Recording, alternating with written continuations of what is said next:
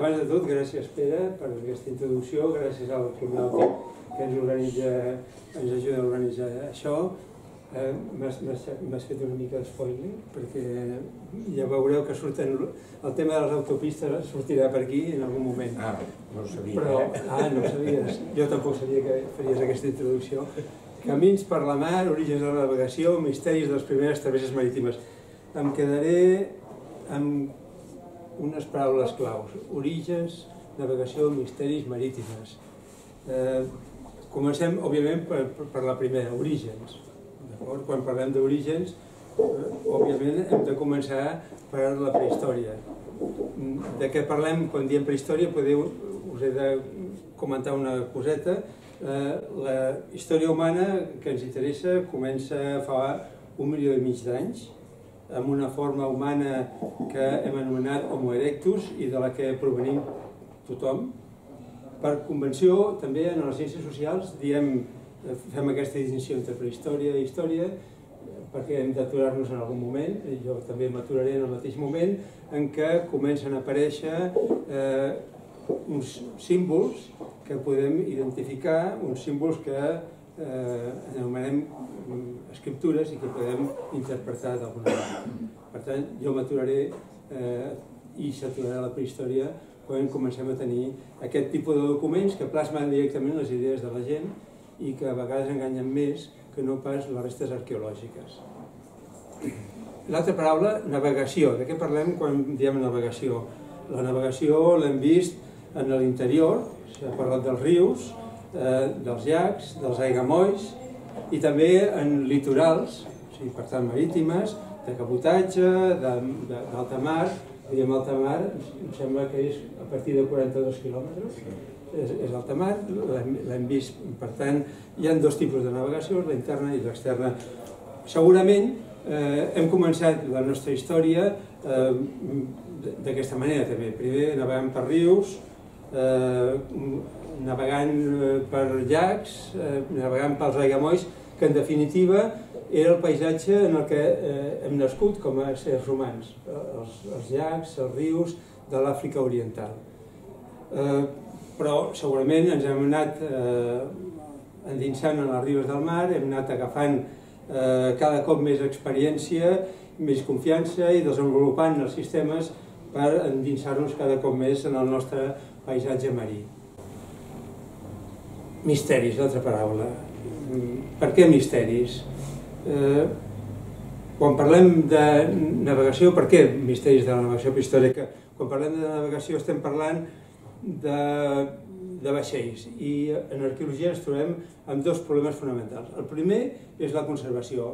La major part d'aquestes dròmines, diguem, estan fetes de materials peribles que no es conserven massa bé i no deixen, per tant, eh, rastres massa, eh, massa clars i també sovint s'han enfonsat i per tant tampoc els veiem a, a terra ferma.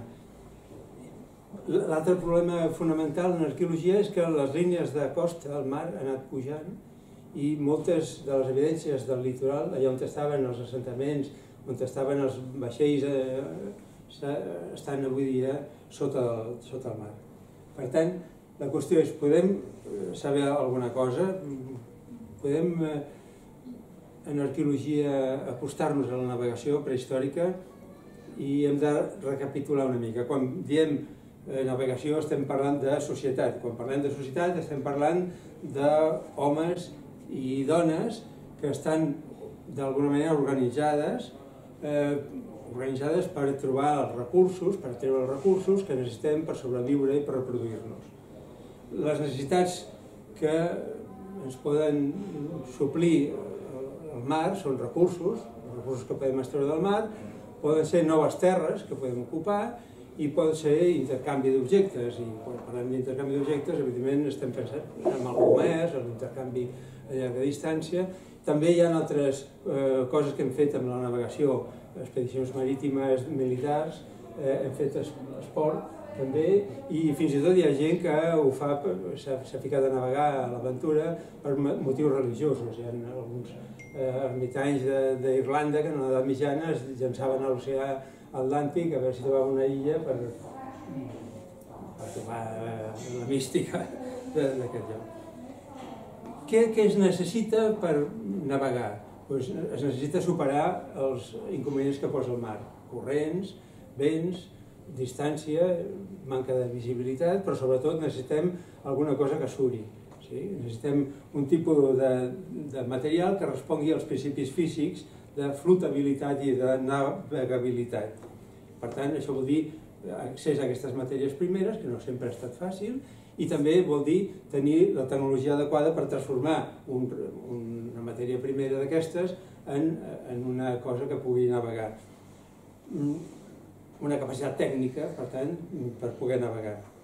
Eh, l'experiència i el càlcul, i sobretot a partir d'un principi que va inventar, no, que, inventar no, que va descobrir un color grec d'una colònia grega de, de, de Sicília, l'Arquímedes, aquest, aquesta experiència acumulada i aquests principis científics ens permeten avui dia coses que potser no voldríem, com per exemple que suri el ciment i que ens facin aquí unes andròmines de parcs eòlics de 258 metres d'altura i més de 3.000 tonelades de pes.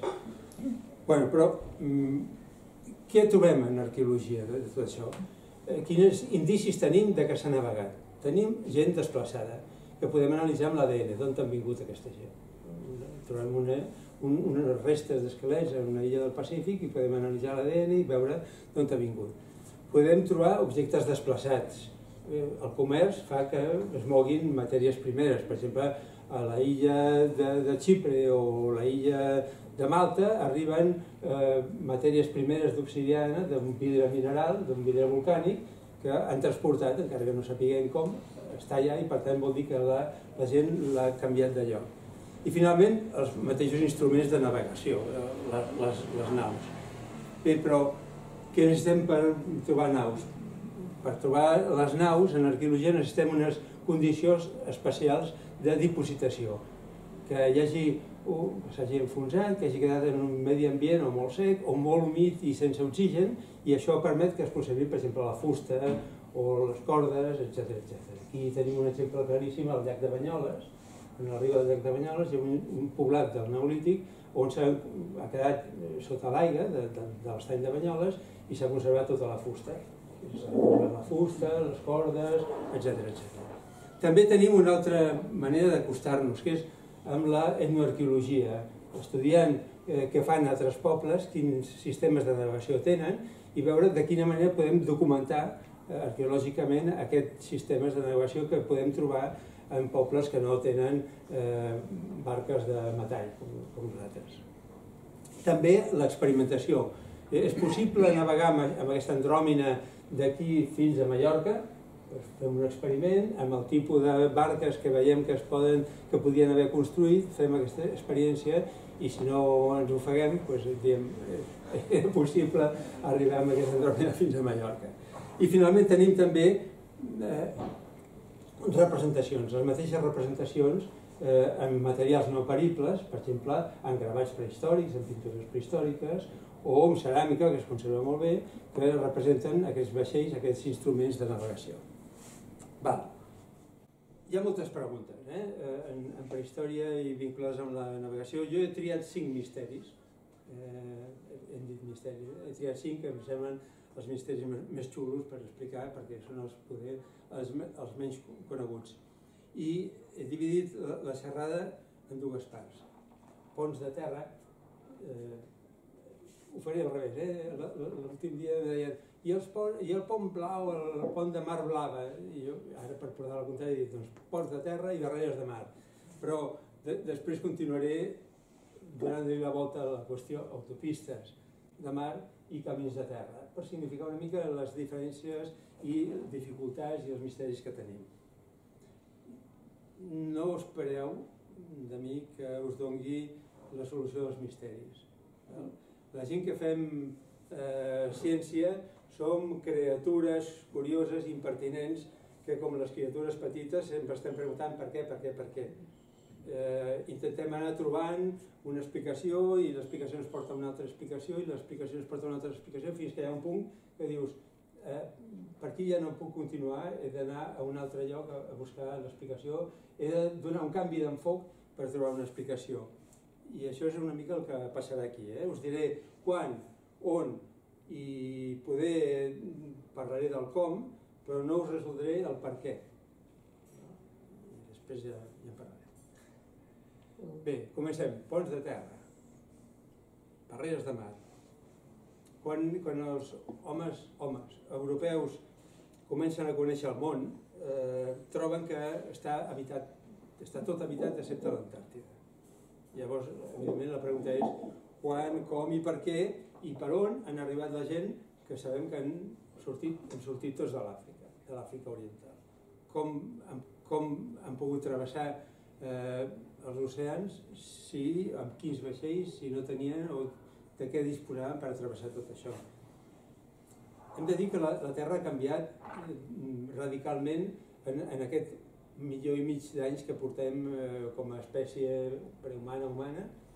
Eh, han hagut dues dotzenes de canvis climàtics entre glaciar i temperat, o sigui, 21, 24 canvis climàtics que hem passat d'interglaciar a glaciar, i això, mm, pel que ens respecta en aquesta conferència, vol dir que el mar eh, ha baixat de nivell i ha pujat de nivell i ha baixat a 120 metres, quan hi havia una època glacial, sota el nivell actual.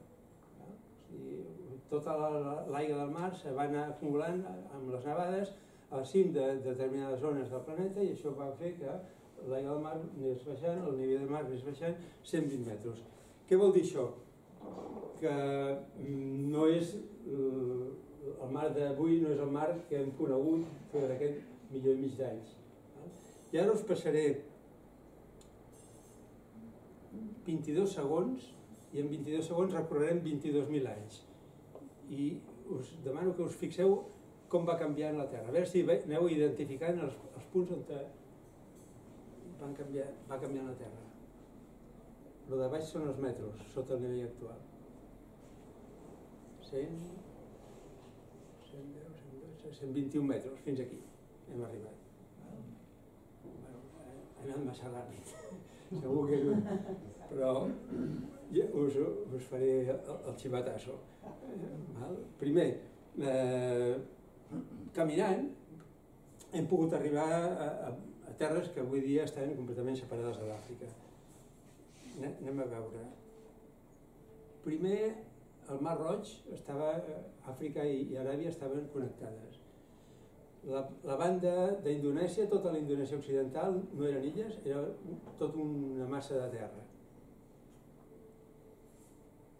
Sí. Austràlia estava connectada amb Nova Guinea, però no amb Indonèsia. Tenim també que el Japó estava connectat amb Corea, tenim que Amèrica està connectada amb Sibèria. I finalment sabem que es podia anar caminant des de Suècia fins a Anglaterra, línia recta. Bé, eh, aquests són, per tant, els ponts de terra. Per tant, no és gens estrany, eh, no és cap misteri, que des de l'Àfrica Oriental, fa 1.800.000 anys, arribéssim a la península Ibèrica, arribéssim a, a les illes d'Indonèsia o arribéssim a Pequín. Queden alguns, alguns detalls per aclarir. Es va travessar o no es va travessar el Mar Roig eh, en aquest punt d'aquí. Això s'està investigant, aquest pas d'aquí, s'està investigant sota l'aigua. O sigui, a veure quines evidències hi ha sota l'aigua, afortunadament és molt poc fondo, i els saudis tenen molta pasta i poden llançar barcos a experimentar a veure si els humans més antics han passat per allà. Es posaran una medalla perquè tindran un pont de terra que de moment no està, no està massa clar. Bueno, però vaig al primer misteri, el, el misteri més antic. Fa 800.000 anys, més de 800.000 anys, els humans arriben a l'illa de Flores, a la Micronèsia i bueno, això què, què, què, què, què vol dir? Pues, la illa de Flores, això veieu, seria tot aquest continent que connecta tota la Indonèsia occidental, que en diem Sundaland, Però hi ha una línia, una falla tectònica molt important que separa, veieu, les illes orientals, les Cèlebes, la, la, les petites illes de la Micronèsia, les separava i les continua separant de la massa continental. I en canvi, els humans han arribat a una d'aquestes illetes de l'altra banda, de la banda oriental, i fa 800.000 anys. Val? En aquesta cova de Liambua s'han trobat una forma humana, una, un esquelet d'una dona, de fa entre 100.000 i 55.000 anys, però sabem que havien arribat fa 800.000 anys, i era una persona que per l'efecte de quedar-se en la illa va quedar enanitzada, si la comparem al, seu tamany amb el, amb el tamany a l'esquerra eh, els europeus actuals i a la dreta una forma neandertal, la neandertal era eh, molt més petita, s'havia quedat enanitzada per l'efecte de la illa. I com ha pogut arribar aquí? Perquè encara que hi hagi visibilitat a les illes, entre les illes, aquestes últimes, es veu, no? Que aquí es veu, es veu la illa aquí? Uh -huh. Val, aquesta és 20 quilòmetres. 20 quilòmetres de distància entre la illa de Bali i la illa de Lombok. Eh, però s'ha de continuar eh, des de Sombaia a Flores, són dos trajectes entre, eh, fent escales de 20 quilòmetres cada una, és a dir, han hagut de travessar 60 quilòmetres, des de terra ferma fins a la illa de Flores només els elefants han sigut capaços de, de fer aquesta proesa, perquè sabeu que els elefants naden i, i atravessen eh, grans eh, distàncies dins del mar, tenen la trompa, perquè és tranquils, no? Però, òbviament, els humans no poden fer aquest trajecte de 25-60 quilòmetres. Llavors, el problema és com hi ha arribat aquesta gent. Aquesta, aquesta excavació, aquesta escaleta es va trobar el 2004. El 2005 us en recordeu el que va passar?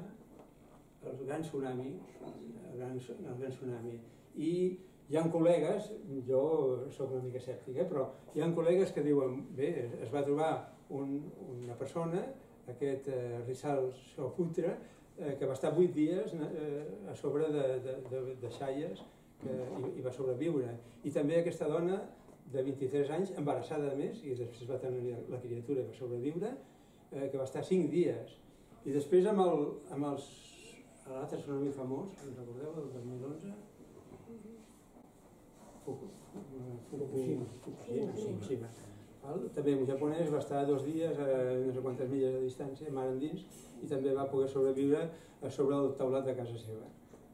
Llavors diuen, poder és aquesta, eh, va ser una cosa d'aquestes que va arrossegar tot, una, tot un grup de gent i la va arrossegar fins a l'illa de Flores. Eh, és una hipòtesi, perquè eh, evidentment si no, mm, no, no sabem explicar-ho. De moment no, no, no tenim una explicació. S'hauria de trobar eh, la, la, les traces d'aquest supertsunami. Es poden trobar. Eh? El que passa que hem començat a, a identificar les traces de tsunamis a finals dels anys 90 del segle passat. Eh? O no, no, no sabíem com sí que sabem com identificar-los.